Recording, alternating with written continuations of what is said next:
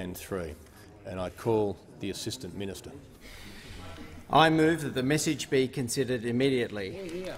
The question is that the message be considered immediately. All those of that opinion say aye. To the contrary, no. I think the ayes have it. The Minister. I move that the amendments right. made by the Senate in place of amendments numbers 2 and 3 disagreed to by the House be agreed to. Thank you, Mr Speaker. Firstly, I'd like to thank everyone that participated in this debate, except for the Senate.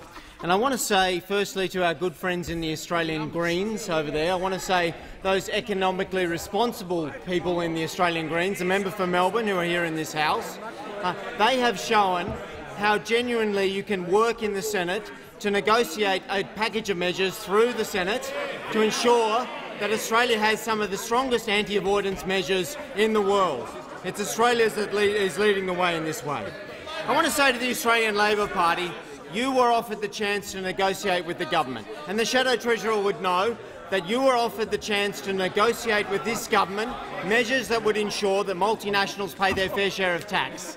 And it was the Australian Labor Party that rejected the offer of the government to negotiate through a fair package of amendments uh, that would ensure that multinationals pay their fair share of tax. And I want to say, uh, Mr Speaker, that this government is in charge of tax policy in Australia. We won't take ultimatums from the Senate. We won't take ultimatums from the Australian Labor Party. We certainly won't take, Mr Speaker, ultimatums from spivs in the Senate like Senator Dastyari. We certainly won't take ultimatums from Senator Dastyari. Members on my right. It's the Treasurer who met with the Australian Tax Board the day after this bill came here last time, the day after to ensure we had the right amendments. It's the Treasurer who met the next week with the ATO to ensure that the ATO were on board with the government's amendments. Proper process has been followed in relation to these amendments, Mr Speaker. All colleagues in this parliament can ensure, eh, be, be absolutely 100 per cent convinced that proper process has been followed. These are sound changes, Mr Speaker, and I know that my colleagues are ready to listen to my remarks that I've prepared here. I know a few short words, a few choice words I've prepared, 20 or 30 minutes, nothing, nothing too onerous, just a few words that I'd like to say in support of these measures. Look, Mr Speaker, there's one thing that all Australians agree on, and that is that multinationals should pay their fair share of tax in Australia. Why would this parliament, why would any political parliament, party in this parliament propose that we leave here before Christmas without a package of measures that ensures that multinationals pay their fair share of tax? The Liberal Party agrees with that. The National Party agrees with that. The Australian Greens agree with that. There is one party in this parliament that proposes that we leave here before Christmas, ensuring that multinationals do not pay their fair share of tax. That's the Australian Labor Party, Mr Speaker. The Australian Labor Party. In the fair dinkum stakes, Mr Speaker, Australia is a world leader in relation to multinational taxation. We're going to continue to work with our OECD and G20 partners. This is not the end of the story. We're going to continue to work with our OECD and G20 partners. We'll continue to take the lead in the OECD and the G20. But I want to say once again, it's a sad day for the Australian people. It's a sad day for the Australian Labor Party. Paul Keating. Paul Keating, do you remember him? Do you remember him, Shadow Treasurer? Paul Keating, someone you might have modelled yourself on, Shadow Treasurer. Paul Keating would be rolling in his grave to see, to see his political grave, his political grave, to see the Australian Labor Party of today, to see the Australian Labor Party of today not willing to pass sensible amendments to multinational tax. Sensible amendments. It's a sad day when the Australian Greens are running Australian taxation policy and not the Australian Labor Party. And the Australian Greens. And while the government is happy and satisfied with the amendments, not every aspect of the amendments that have been passed by the Senate pleases the government. But that's the role of, that's the role of politics. As the Treasurer would know, and as you would know, Shadow Treasurer, that's democracy. That's democracy, Shadow Treasurer. The Senate has passed these amendments. The government will reluctantly agree to some of them, but we will agree to all of them because these are in the interests of the Australian people. This multinational taxation package will ensure that multinationals are paying the appropriate amount of tax from 1 January this year. I can't wait to hear the Shadow Treasurer's contribution because It will, it will, the onus will be on you to explain to your supporters. The onus will be on you to explain to the Australian people why you are holding this parliament back until 9.30 on the last day of the sitting year over multinational taxation, Shadow Treasurer. Stand up right now and tell us, tell the Australian people, tell everyone here, tell the attendants, tell the clerks, tell the drivers, why are we here at 9.30 on the last sitting day of the year over multinational taxation, over making sure that multinationals pay their tax, Shadow Treasurer. Tell us. The Assistant Minister's time. time has expired. Members on my right. Members on my right. The member for McMahon. Thanks very much, Mr Speaker. I just got a text from Paul Keating. He's not dead. Mr Speaker, we knew the Liberal and the National parties were going to any length, any lengths to provide protection for large private companies to keep their tax affairs secret.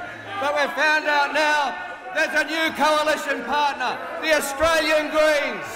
There's the Liberals, there's the growing Nationals, and there's the Greens, all in coalition to protect Australia's private wealthy companies. We know how we got here, Mr Speaker. The previous government knew that transparency reduces evasion. The previous government knew that one in five large private companies pay zero tax. The Liberal and National parties opposed our measures all the way.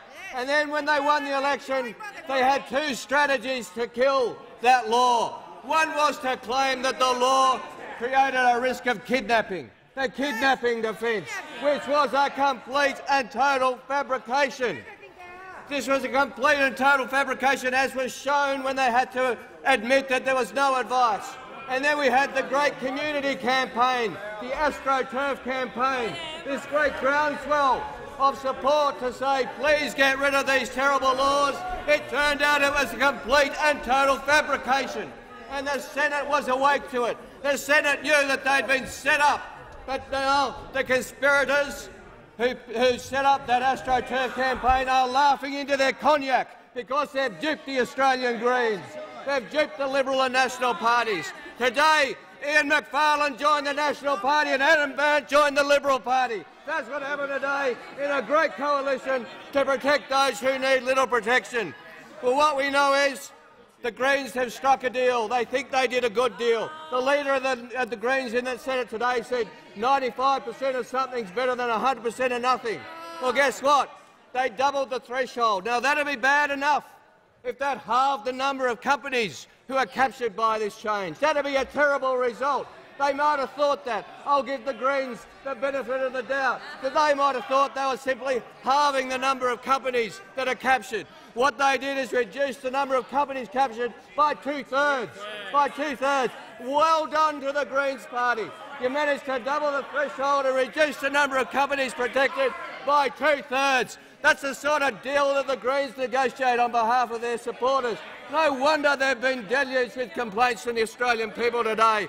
The Greens have become the tax transparency traitors of Australian politics, joining with the coalition. At least the coalition's always been clear about who they represent, the big of town. The Greens have pretended otherwise and they've been exposed. What they've done is shown that they are gutless, the gutless Greens Party of Australia, in coalition with those opposite, in a desperate play to deal themselves in, but in deal themselves in, they dealt away their principles. They dealt away everything they stood for. What they did is they joined with the Assistant Treasurer in his lovely green tie he's worn especially for the occasion, for his new coalition colleague, the member for Melbourne, who should explain to the voters of Melbourne why he has worked with his colleagues in the Senate to protect Australia's biggest private companies, who've done a terrible deal on behalf of the Australian people.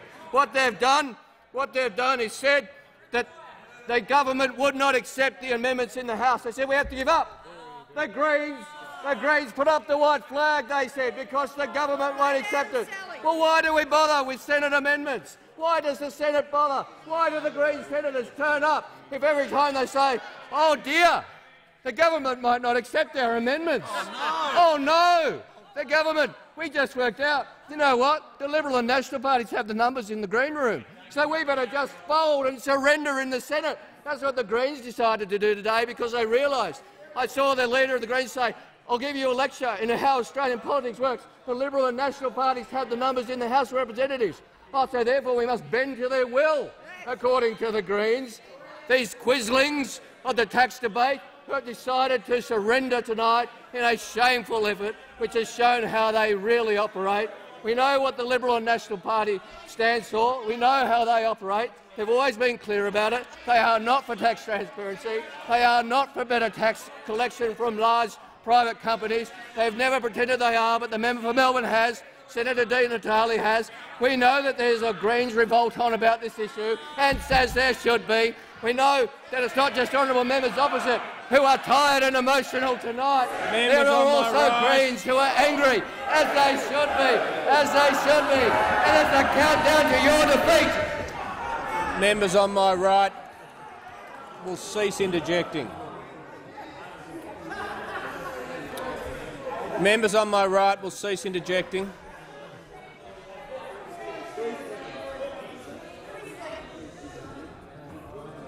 The member for Melbourne. Because of the amendments the Greens secured in the Senate, Australians will now be able to know how much tax 7-Eleven pays. And Labor said, no, we don't want Australians to know how much tax 7-Eleven pays. Because of the amendments the Greens secured in the right. Senate, we will now know how much tax the multinational world's biggest coal miner Glencore pays. They generated $15 billion in revenue and paid no tax in Australia. The Greens were able to secure amendments and stare down the government and say, we want this published, and we have got Lalor, it. And Labor has Newcastle. said, we want to keep secret how much tax the multinational company Glencore pays. Because of the amendments the Greens secured in the Senate, we will know how much tax over 280 private companies, many of whom had their tax arrangements kept secret by the Labor government under Paul Keating, now we will know how much tax they pay. Because of the amendments the Greens secured in the Senate, we will be able to know how much tax some of the wealthiest private companies in Australia that donate to the Labor and the Liberal parties how much tax they pay. We have secured these amendments. We secured the Senate inquiry that said it is a disgrace. It is a disgrace that in Australia people do not know how much tax these multinational companies and these private companies pay. They said we need to amend our taxation laws so that private companies in Australia are no longer able to hide their affairs. And we need to amend our tax laws so that companies can't hide behind uh, general have to file general purpose accounts instead of filing special purpose accounts. And now we have got it. And we have wound back some of the secrecy that Labor imposed, and we are on our way to having a, having a well-informed debate in this country about how much tax people pay. And what I want to just remind the House of a, of a very interesting article that gives the lie to the confected outrage that we've heard for the last afternoon from the Labor Party. Michael West in The Age says this, Labor too had worked hard to legislate these amendments. Their angst was understandable. In political terms, it was, as the chairman of the inquiry into corporate tax avoidance, Sam Dastyari, framed it, a treacherous compromise. Before he had a laugh and conceded the outcome was not too bad. Before he had a laugh and conceded the outcome was not too bad. And so outraged was Labor about this that they sent an email around to all of their members saying, call the Greens and complain about it. And when people called us and we explained that because of these amendments, there will now be over 280 of the wealthiest Australian companies have to disclose how much tax they have to pay. And because of this, multinational companies will have to explain how much tax they have to come. We kept a record. 95 per cent of the Labor callers who called us have now said, that's great, we're going to vote Greens as a result of it. So thank you very much Members for that my campaign. right. And so confected is Labor's outrage that when it came to it in the Senate about an hour and a half ago, when it came to it, they didn't even call a division. They didn't even call a division to vote against this bill. And I bet you wait and you see they'll put up a, a half a fight against these amendments and then they'll let this bill go through as well because Labor knows, Labor knows in their heart of hearts that what we have achieved is now is now more than 280 Australian companies have to tell the population how much tax they have to pay, and multinational companies, for the first time, are going to have to disclose Member how much tax they have to pay. And what we know, Member what we know is that when they have to tell the Australian people how much tax they have to pay, the Australian people, like they've done in the UK, will say, well, that's not enough and we want more. And when people know how much or how little tax these wealthy companies are paying, when the people know how little tax, they will say, well, we don't want a GST, let's make multinationals pay their fair share. Instead of having a GST, let's ask multinationals to pay their fair, their fair share of tax, because that is what the Greens believe in. Tax reform should start at the top not at the bottom. It should start with multinational companies. It should start with making them disclose how much tax they have to pay. And when people know how much tax they have to pay, we won't be having a debate about a GST anymore. We'll be saying let's make the top 1% pay their fair share, and the Greens will have contributed towards that. Member for Solomon, Dobell, Bass and Lyons will resume their seats. The Minister, the Assistant Minister has the call. Thank you, Mr Speaker. As reluctant as I am to interrupt that outstanding monologue on the Australian Labor Party, I move the motion be put. The, the question is, the question moved by the assistant members on my right will cease interjecting. The member for Lalor and the member for Newcastle will cease interjecting. The member for Isaacs. The motion moved by the assistant minister is that the motion be put. All those of that opinion say aye. To the contrary, no. I think the ayes have it. Noes have it. Division required. Ring the bells for four minutes.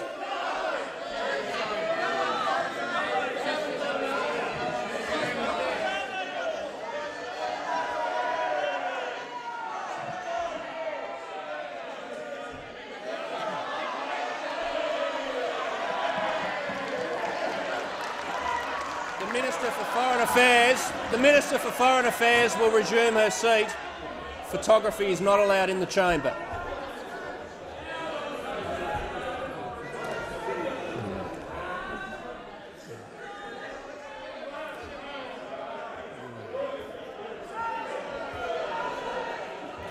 The member for Lalor will not interject when she's out of her seat.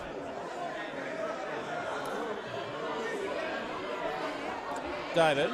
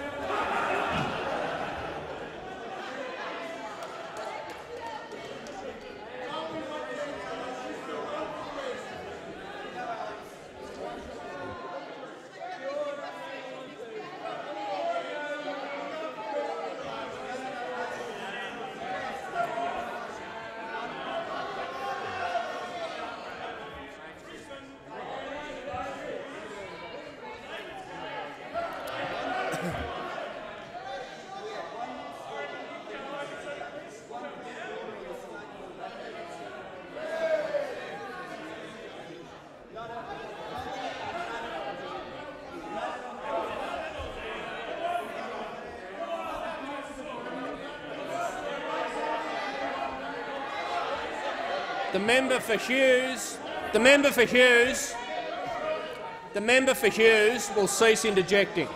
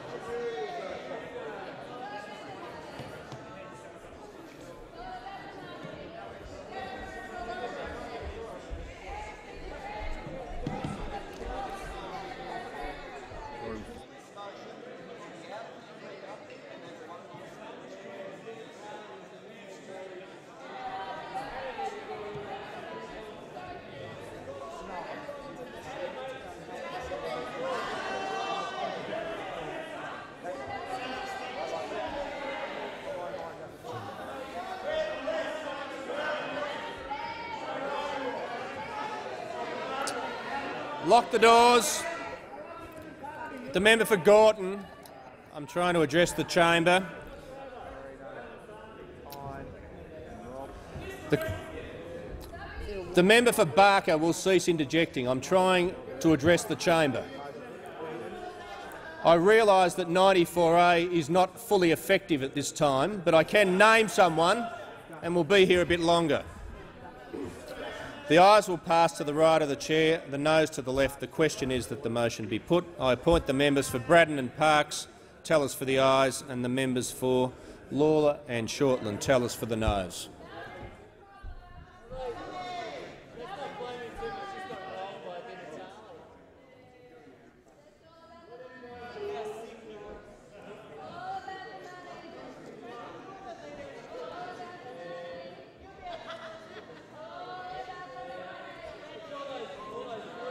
The member for Bendigo will cease interjecting.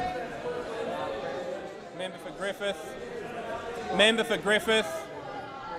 The member for Griffith.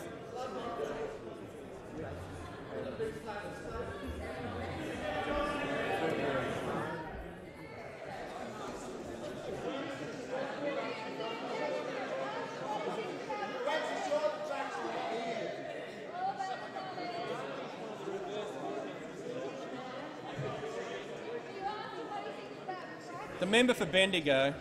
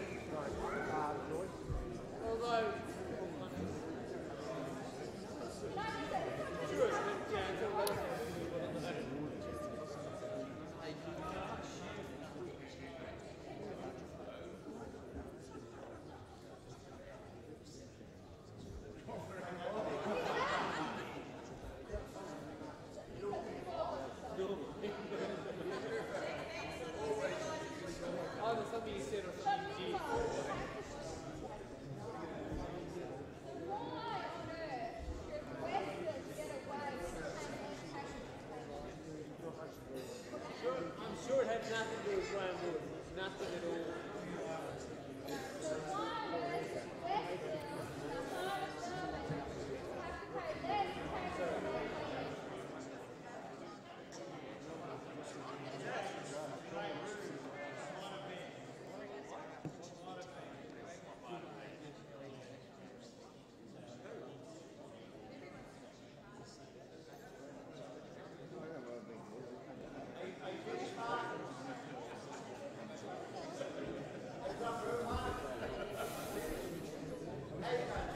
Just to take the boots off.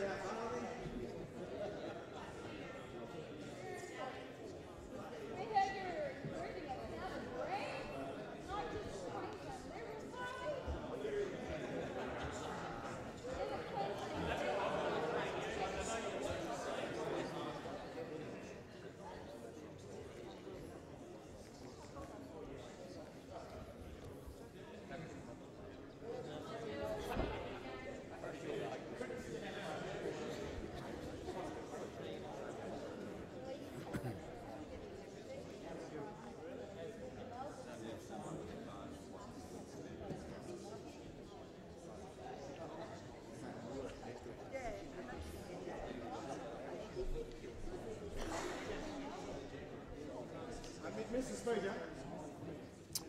The member for Hunter on a point of order during the division. Speaker, given parliamentary privilege doesn't apply during divisions, is it appropriate for the titular member of the National Party to be recruiting Greens to his party during a division? The member for Hunter has no point of order. It was funny. It was funny.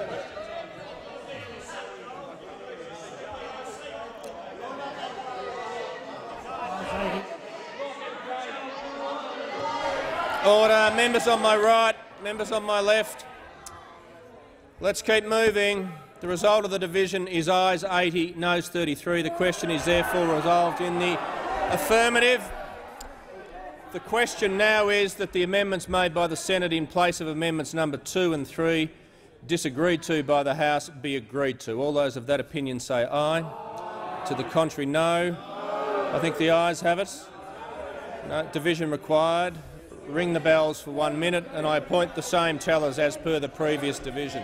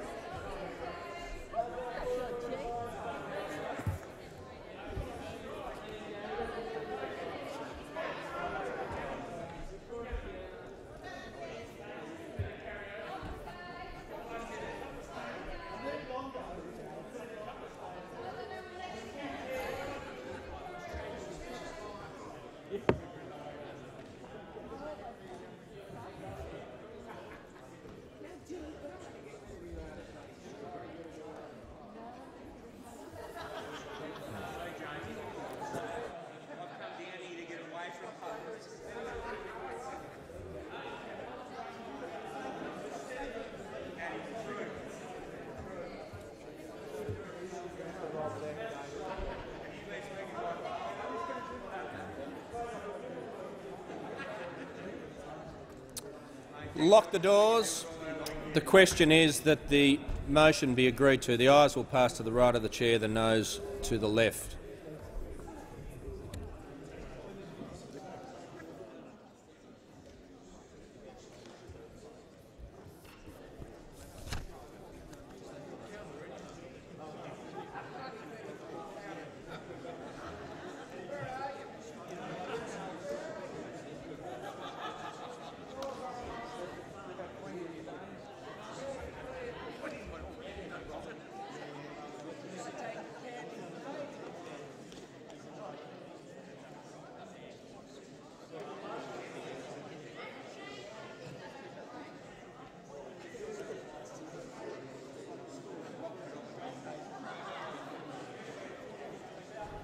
Order. The result of the division is ayes 79, noes 33. The question is therefore resolved in the affirmative. The Leader of the House. You got an early mark. Mr Speaker, even so there are so few Labor members still here, but I still move that the House do now adjourn. Yeah. And I thank everyone for their forbearance. The House stands adjourned. Oh, if members could just resume their seats. The question is that the House do now adjourn. All those of that opinion say aye. To the contrary, no. The House stands adjourned until Tuesday, the 2nd of February 2016 at 12 noon.